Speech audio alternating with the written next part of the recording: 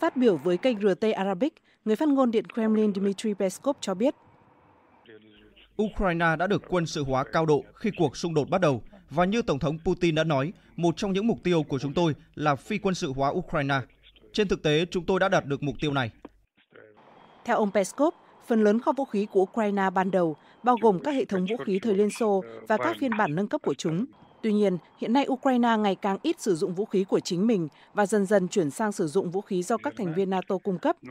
Đến nay, các nước phương Tây đã cung cấp cho Kiev các thiết bị hiện đại, bao gồm xe tăng hạng nặng, tên lửa chống tăng, tên lửa phòng không, máy bay không người lái, hệ thống pháo đa nòng. Viện trợ quân sự cho Kiev khiến các nước phương Tây trở thành các bên trong cuộc xung đột và khiến tình hình châu Âu trở nên căng thẳng và khó lường hơn. Tất cả những điều này đã thúc đẩy Nga thực hiện các biện pháp quyết đoán hơn để đảm bảo an toàn cho người dân ở Donbass và sự an toàn của Liên bang Nga. Ngoài tuyên bố trên, thì phía Nga vẫn chưa phát thêm tín hiệu gì về việc sẽ sớm kết thúc chiến dịch quân sự đặc biệt tại Ukraine.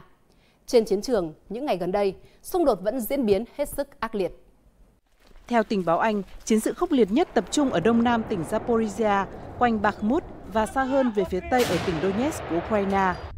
Bản cập nhật của tình báo Anh ghi nhận rằng, mặc dù Ukraine đang tiến công và có một số bước tiến nhỏ, lực lượng Nga cũng thực hiện tác chiến phòng ngự tương đối hiệu quả ở Nam Ukraine.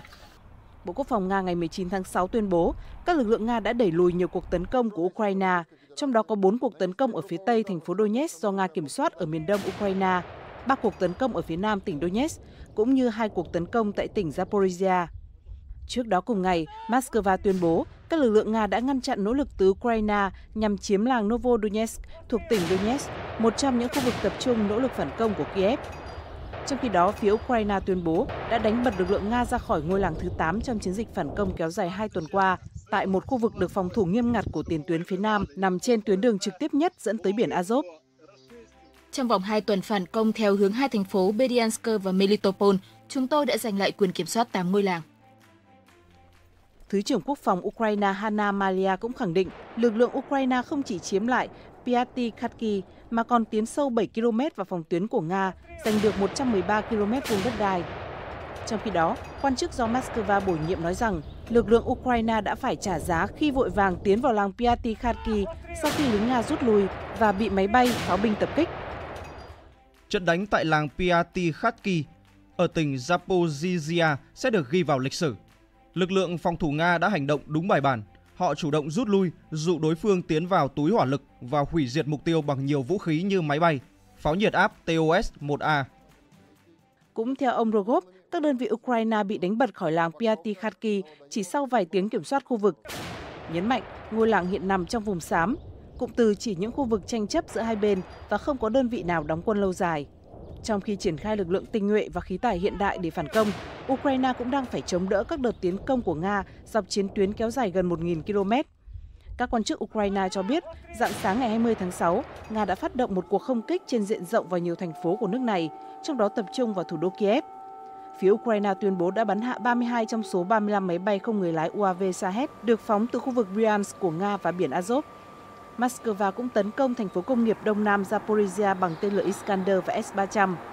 Chia sẻ trên mạng xã hội Telegram ngày 19 tháng 6, Thứ trưởng Quốc phòng Ukraine Hanna Malia xác nhận quân đội Ukraine đang phải vừa tấn công vừa phòng thủ. Ngoài các cuộc không kích, Nga còn đang tập trung một lực lượng hùng hậu, bao gồm cả các đơn vị tấn công đường không tinh nhuệ, tiến hành một chiến dịch tấn công chủ động ở khu vực Krasny Liman và Kupiansk cũng theo bà Malia, mặc dù đến nay Kiev chưa tung ra đòn đánh mạnh nhất, nhưng chiến dịch phản công đang rất khó khăn. Theo giới quan sát, rất khó để đánh giá mức độ thành công của chiến dịch phản công diễn ra suốt những ngày qua của Ukraine. Quân đội nước này đã giành được một số ngôi làng ở vùng xám, nhưng đổi lại bằng thiệt hại nặng nề về nhân lực và thiết bị quân sự do phương Tây cung cấp. Hơn nữa, có thể Kiev sẽ phải mất nhiều tuần chỉ để tiếp cận tuyến phòng thủ kiên cố đầu tiên của Nga. Đây sẽ là thử thách thực sự với quân nhân Ukraine khi phía Nga đã chuẩn bị phòng tuyến suốt nhiều tháng qua. Tổng thống Ukraine Zelensky trong phát biểu mới đây khẳng định quân đội Ukraine đang gây áp lực cho Nga. Lực lượng Ukraine đang tiến quân ở một số khu vực, đồng thời phòng thủ và kháng cự các đợt tiến công ngày càng dữ dội của đối phương ở những nơi khác. Chúng tôi chưa để mất vị trí nào, trong khi đối phương liên tục tổn thất. Tuy vậy, theo giới quan sát, đợt phản công lần này của Ukraine khó khăn hơn nhiều giai đoạn mùa thu năm 2022 khi Kiev có thể nhanh chóng tái kiểm soát một khu vực rộng lớn ở tỉnh Kherson và Kharkov do Nga chủ động rút về phía bên kia sông Donetsk ở Kherson và sông Oxin ở Kharkov để lập tuyến phòng thủ.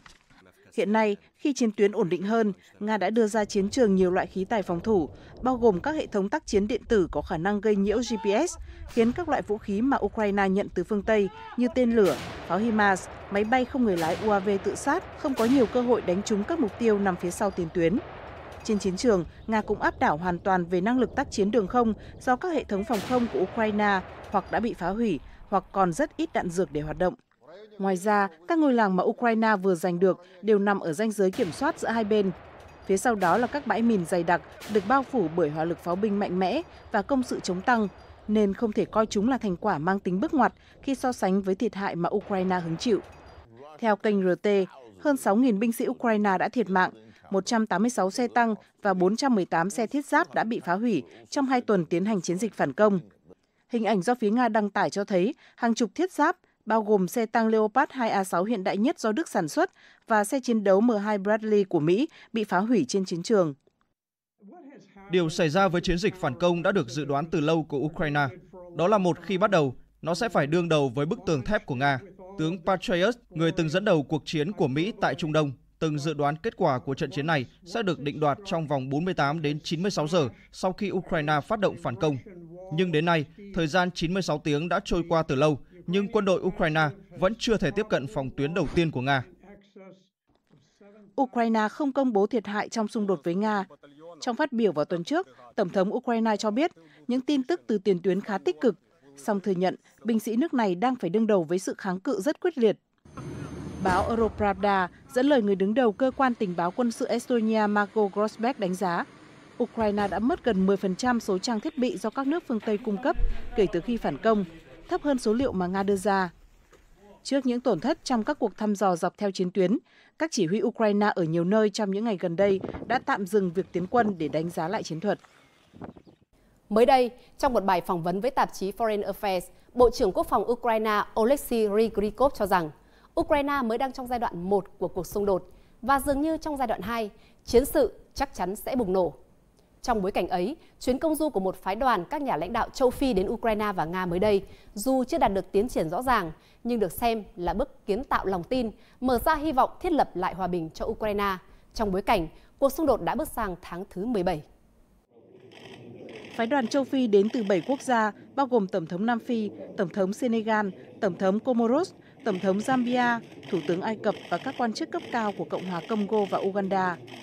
Đoàn đã đến Saint Petersburg để gặp Tổng thống Nga Vladimir Putin sau cuộc hội đàm với Tổng thống Ukraine Volodymyr Zelensky ở Kiev. Chúng tôi ở đây để truyền đạt một thông điệp rất rõ ràng rằng chúng tôi muốn cuộc chiến này kết thúc. Trong cuộc hội đàm với Tổng thống Nga Putin kéo dài 3 giờ, phái đoàn ngoại giao châu Phi đã kêu gọi Nga và Ukraine cùng ngồi vào bàn đàm phán để sớm chấm dứt xung đột. Theo đề xuất kế hoạch hòa bình của phái đoàn, hai bên nên tập trung vào 10 điểm chính, gồm lắng nghe quan điểm của các quốc gia, bắt đầu đàm phán ngoại giao càng sớm càng tốt, bắt đầu giảm leo thang xung đột từ cả hai phía, đảm bảo chủ quyền quốc gia và dân tộc theo hiến trương Liên Hợp Quốc, đảm bảo an ninh cho tất cả các quốc gia, đảm bảo việc vận chuyển ngũ cốc và phân bón của cả hai nước, hỗ trợ nhân đạo cho những người đã trở thành nạn nhân của cuộc xung đột, giải quyết vấn đề trao đổi tù binh chiến tranh và trao trả trẻ em, tái thiết sau chiến tranh và hỗ trợ các nạn nhân chiến tranh, và hợp tác chặt chẽ hơn với các nước châu Phi. Đáp lại thông điệp trên, Tổng thống Nga Vladimir Putin cho biết Nga tôn trọng lập trường của các nhà lãnh đạo châu Phi, những người đã nói về sự cần thiết của một giải pháp hòa bình cho các cuộc xung đột. Chúng tôi hoan nghênh cách tiếp cận cân bằng của những người bạn châu Phi đối với cuộc khủng hoảng Ukraine. Chúng tôi cũng đánh giá cao sự quan tâm của các bạn trong việc tìm kiếm các cách thức giải quyết xung đột. Trước đó, trong cuộc gặp với phái đoàn châu Phi, Tổng thống Ukraine Volodymyr Zelensky cũng đánh giá cao đề xuất của phái đoàn, đồng thời mời các nhà lãnh đạo châu Phi tham gia hội nghị thượng đỉnh về hòa bình toàn cầu trong thời gian tới. Đây là lần đầu tiên châu Phi tham gia vào các nỗ lực hòa giải xung đột Nga-Ukraine kể từ khi giao tranh giữa hai nước bùng nổ hồi tháng 2 năm 2022.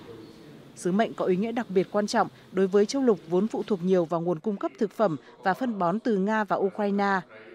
Tuy nhiên, các nhà phân tích cho rằng cơ hội cho các cuộc đàm phán hòa bình dường như vẫn mờ nhạt khi Kiev và Moscow có quan điểm khác biệt. Ukraine yêu cầu Nga rút quân khỏi tất cả các vùng lãnh thổ bị chiếm đóng như một điều kiện để đàm phán hòa bình. Ngược lại, Điện Kremlin muốn Ukraine công nhận bán đảo Crimea mà Moscow đã sắp nhập từ Ukraine vào năm 2014 là một phần của Nga và thừa nhận những lợi ích về đất đai khác mà quốc gia này đã đạt được. Mặt khác, thời điểm phái đoàn châu Phi bắt đầu sứ mệnh cũng không thuận lợi. Ukraine đang triển khai chiến dịch phản công lớn đã lên kế hoạch từ lâu. Trong khi đó, cả Nga và Ukraine đều đang không đối mặt với thất bại lớn nào trên chiến trường để bị buộc phải ngồi vào bàn đàm phán. Do vậy, chuyến công du của phái đoàn châu Phi mang dáng dấp của một nỗ lực tìm kiếm đồng minh hơn là trung gian hòa giải. Theo một số nhà quan sát, sẽ là không thực tế khi mong đợi rằng các đề xuất do phái đoàn châu Phi đưa ra sẽ được các bên xung đột chấp nhận ngay lập tức và đó sẽ là một đánh giá không đúng mức về tình hình phức tạp hiện nay. Để đạt được hòa bình có vẻ như vẫn còn một chặng đường dài phía trước, nhưng hy vọng chấm dứt xung đột về mặt ngoại giao sẽ nằm ở nỗ lực của các bên có lập trường trung lập như phái đoàn châu Phi. Bản tin nhìn ra thế giới hôm nay xin tạm dừng tại đây. Cảm ơn quý vị đã quan tâm theo dõi. Xin kính chào tạm biệt và hẹn gặp lại.